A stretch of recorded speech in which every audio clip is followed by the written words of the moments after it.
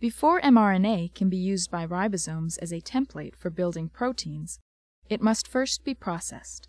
Key steps are the addition of a methylated cap and a polyadenylated tail.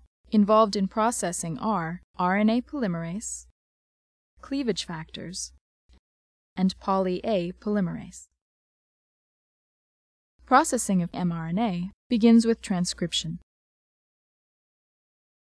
Soon after RNA polymerase begins transcription, a methylated cap is added to the 5' end. Transcription then continues to completion.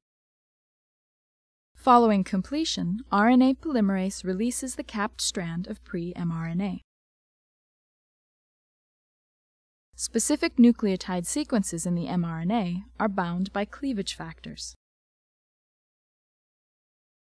The 3' end of the mRNA is next moved into the correct configuration for cleavage. Stabilizing factors are then added to the complex. Poly-A polymerase now binds to the mRNA and cleaves the 3' end. The complex begins to dissociate and the cleaved 3' end quickly degrades.